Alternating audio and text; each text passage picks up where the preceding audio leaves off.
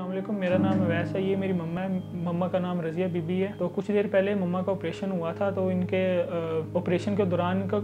cloth रह गया था अंदर जिसकी वजह से इनको काफ़ी प्रॉब्लम बनी और उन्होंने कहा था कि दोबारा ऑपरेट होगा लेकिन पापा के हालात कुछ मतलब ठीक नहीं थे उनको लॉस हुआ था तो जिस वजह से हमारे हमसायों ने बताया था कि लाहौर में एक ट्रांसपेरेंट कंपनी है जो फ्री में इलाज कराती है तो फिर हम टोबा से लाहौर आए और हमने ट्रांसपेरेंट के ऑफिस से रबता किया तो उन्होंने हमारे साथ बड़ा अच्छा ताउन किया और उन्होंने हमें कुछ देर का हमें टाइम दिया और फिर हमें लाहौर केयर हॉस्पिटल में जगह दी तो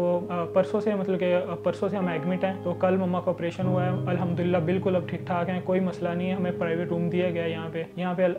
सब ठीक ठाक है और इलाज बड़े अच्छे से हो रहा है और हमें हमारे साथ बहुत अच्छा बर्ताव किया जा रहा है जितना भी खर्चा था वो सारा ट्रांसपेरेंट हैंड एन जी ने उठाया हम ट्रांसपेरेंट हैंड एन के शुक्रगुजार हैं और जो उनके साथ ताउन करें उनके भी शुक्रगुजार हैं